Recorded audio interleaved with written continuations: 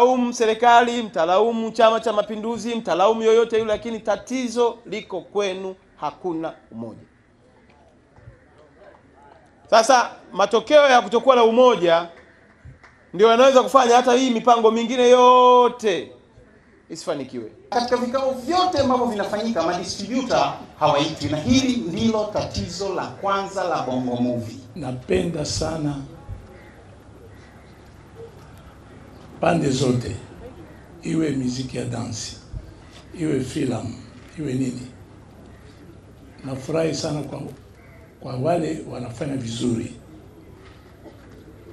kwa wale wote wanafanya vizuri, serikali iwape thamani yao.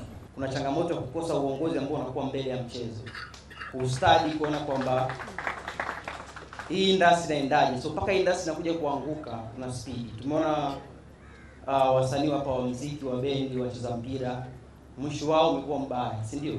Kwa hiyo tulikosa mtu ambaye anaweza kuona hicho hicho kitu. Kwa hiyo speed ni ndogo.